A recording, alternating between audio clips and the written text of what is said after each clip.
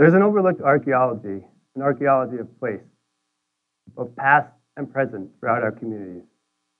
These are the places that make their way into our daily lives and our contemporary cultural landscape with little or no notice. The result is a blending of old and new places into the, into the day-to-day lives. Such examples are all around us. Take, take, for example, the boundary walls across the landscape throughout New England. At one time, these walls served the purpose of defining property lines. Today, as part of the cultural landscape, they define an entire region of the United States, bringing with them memories of times past. As communities in the present, these places define who we are. These are static cultural markers defined by a moment in time long gone, juxtaposed to our contemporary time. Like people, places too have a life history. This history can be short or long. The times and culture around these places will change, and the places themselves will also be altered. However, all of this noise are the meaning and memories that places hold. Places are a bridge to our collective past, their significance, and their need for preservation is that without these relics, we'd have little or no sense of where we've come from. I'm here today to ask you to rethink the places within your community, to kind of reconnect with your past. There are three ways to go about this. One, acknowledge that places are real and they hold on to the memories and meanings of years past. Recognize that places are impermanent and they reflect the constant change that is part of the human experience. Three, realize that although places may change, just below the surface are the multitude of stories waiting to be told. It's these stories which enhance our communities and define who we are. So, first, we need to acknowledge that places are real and they hold on to the memories and meanings of years past. So, what do I mean by place? In archaeological theory, a place is something that is multi layered.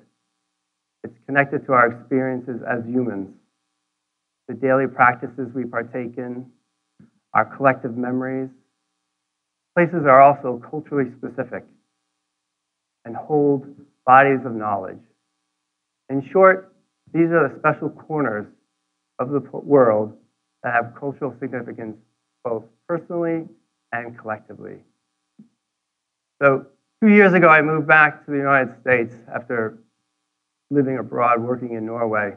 so, I needed a job. It's tough to find a job as an archaeologist. So, I was lucky enough to find a job as a carpenter. Uh, much of what we did involved demolition and remodeling. So, through this work of teardown, we oftentimes came across signs of work done years or decades earlier. The act of tearing down interior and exterior walls would reveal old doorways and windows long covered over. Even the occasional artifact was recovered from inside walls or under floorboards, giving us a relative date of when the previous work was completed. At some point, I realized that carpentry was kind of like archaeology, and that we were unknowingly uncovering the history of the house, a dwelling place that someone called home. We could see how it had changed over the years, either expanded or contracted. We recovered artifacts that offered us clues to the past lives of those who previously lived in these places. And on one, more than one occasion, we uncovered the building techniques and methods that people had used. And from that information, we could decipher the competency level of the craftsmanship. Ultimately, these findings allowed us to understand those who once lived and worked in this place. Suddenly, with this knowledge, these places took on a new significance because these were real people leaving us clues of who they were. As an archaeologist, carpentry showed me what I was missing in my work connecting people to places. I spent years excavating sites from the Stone Age to the early modern period, carefully uncovering the layers of deposition, reco- recovering artifacts. But it's only when I made this connection between place and people did archaeology and the places I was working at take on greater significance and meaning. Second, we need to recognize that places are impermanent and reflect the constant change that is part of the human experience. These places we inhabit, or the places we are drawn to or labor at, at some point in time will fall out of use. Thus, there's this impermanence to these places we are connected to. Even though the materiality of things and the landscapes may appear in the moment to be static, the fact is they are not. As time moves forward, there are mechanical and chemical processes, both literally and figuratively, working against the things and landscapes we create.